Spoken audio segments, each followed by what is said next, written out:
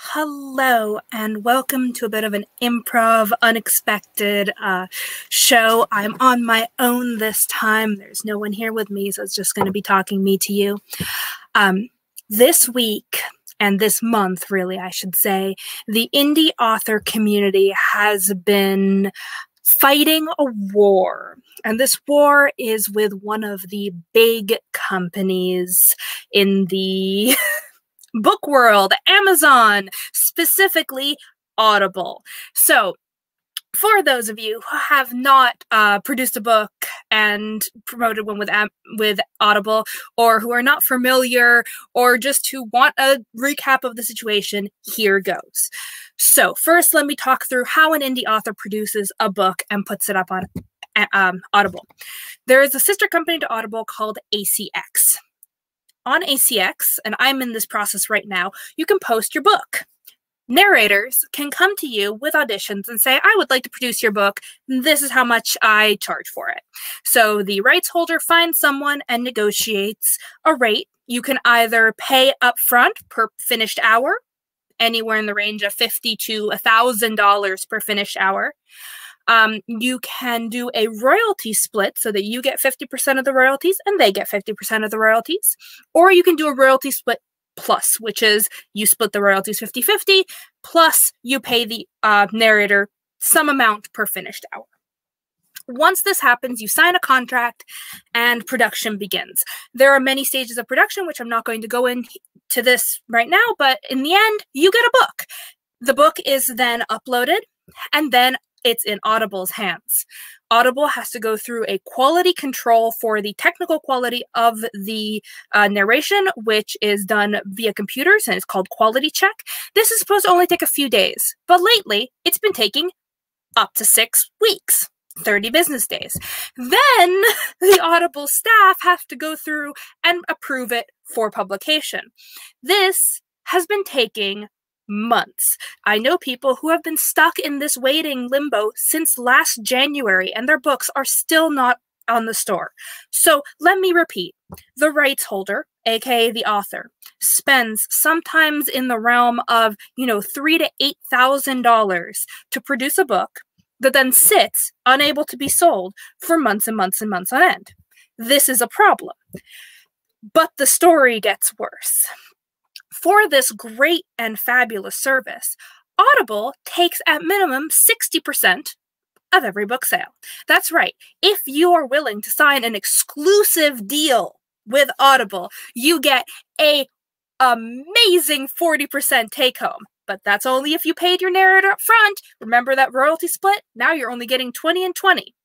But what happens if you're not exclusive to Audible? Well, then you only get 25% of every sale. Now, let me repeat. All they're doing is hosting and delivering the files. Now that is an ex- you know that is an expense and it's right that they take a percentage for that, but they are taking between 60 and 75% on the table. But while those numbers are a bit unfair, and we will get into this. We all sign a contract and we all know what we're getting into. This isn't the problem. The problem is that Audible has started marketing a new and exciting feature for its members unlimited returns. Easy returns for no reason. This means that any listener can buy credits. Credit costs about $11 and lets you buy a book no matter what the cost is. Cool, fine, that's what membership get, gets you. They can use their credit to buy a book. They can listen to it all the way through, return the book, and get their credit back, and go on to buy another book with their credit. Now, this, in other words, is called a lending library. And this is not what we signed up for. Our contract does not include terms of a lending library when a user returns a book, the amount of royalties that were paid out to the author and narrator get deducted from their account. This could happen the same month the customer bought it, or a customer could have bought it nine months ago and then return it, and we still get um, get it deducted from our account. And okay, fine. What's the problem here? Well, the problem wouldn't be here if people returned one or two books every once in a while say you know they got to the end and really hated it or uh, the narration wasn't for them and they listened to an hour and said no i can't deal with this anymore. This person has a really squeaky voice or even wow this story really sucks. I don't really like this. Fine returns. But the fact that there is no limit on um, how long there's a year long limit. So you have to purchase the book within a year and there is no limit to how much of the book you've read. So you can read the whole book and then return it.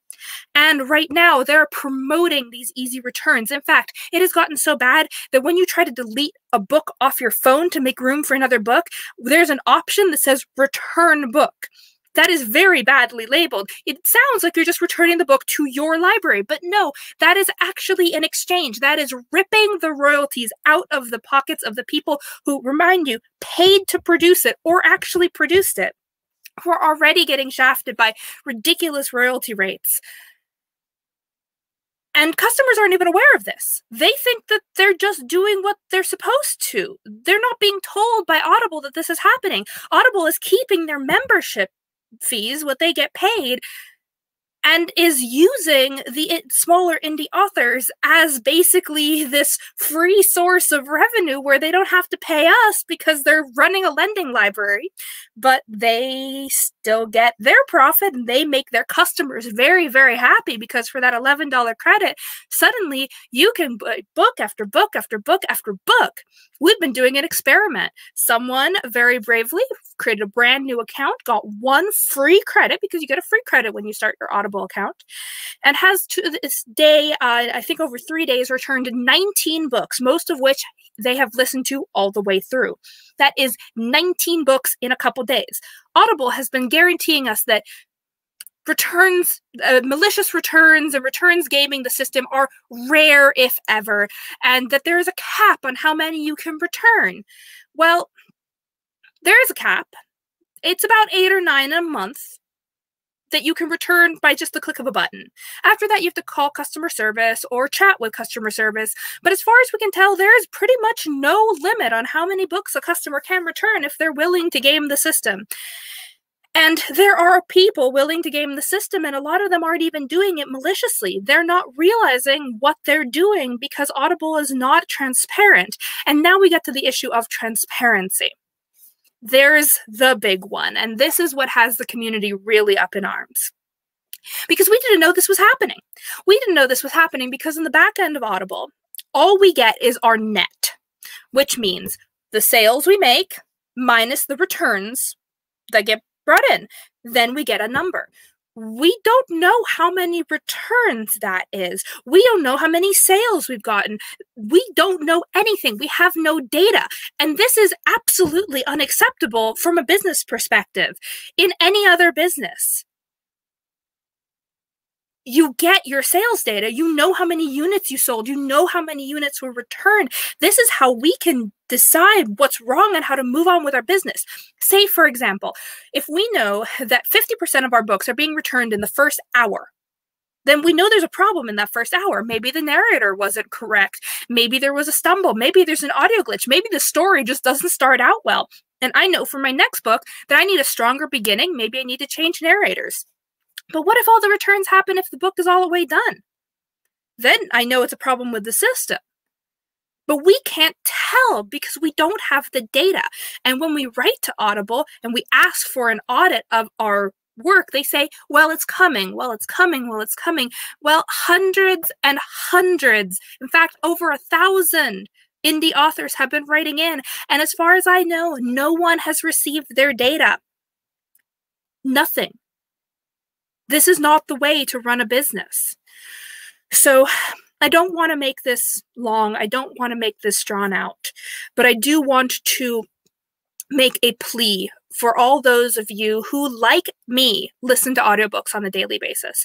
I go to sleep to an audiobook every night. I have a library of over 400 titles. It is the way I enjoy literature and the way I experience books these days. I have very little time to sit down and read a book, but I love listening to them when I do the dishes, when I'm traveling, all of that. Please, please, please do not return books that you enjoyed. Feel no shame in returning a book that you really hated or that you're never going to listen to. That is your right as a consumer.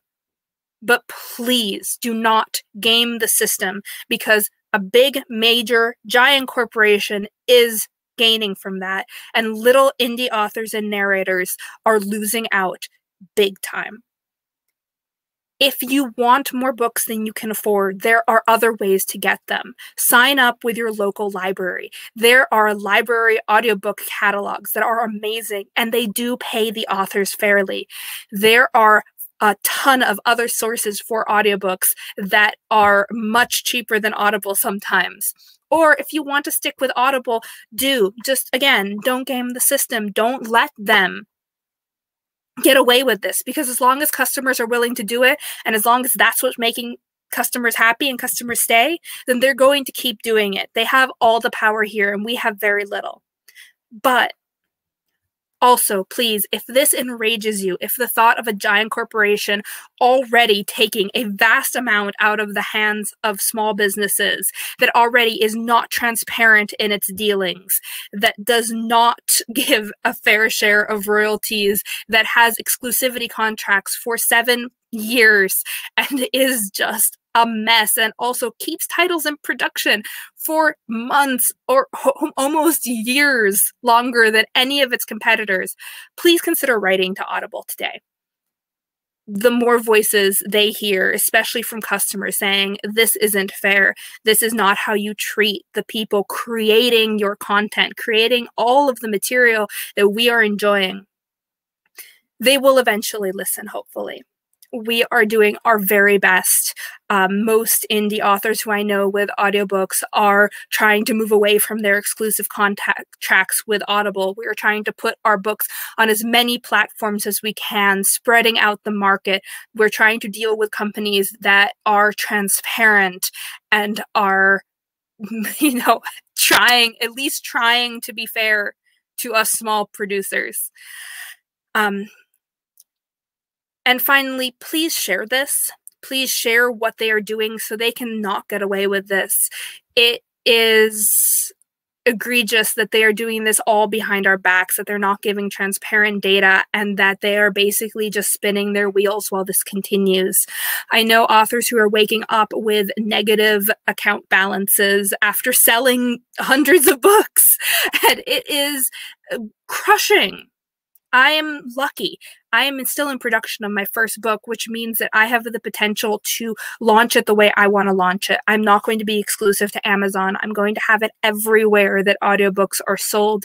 And I'm going to be selling direct, and I'm going to do everything I can to get the book into as many readers' hands as possible at a fair price and in a way that I can be proud of.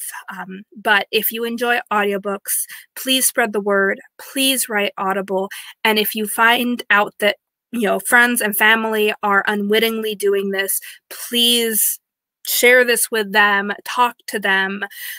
If indie producers stop making audiobooks, it's going to be a disaster for the audiobook world because it means that great books aren't going to be shared and aren't going to be made and it just disincentivizes a whole group of creative minds from creating. It takes away jobs for narrators. There is no no upside to this long term other than money in amazon's pocket and so I beg you, as an indie author, as a voice that tries to uplift indie authors, uh, please take heed. Please don't let them get away with this and have an absolutely wonderful night.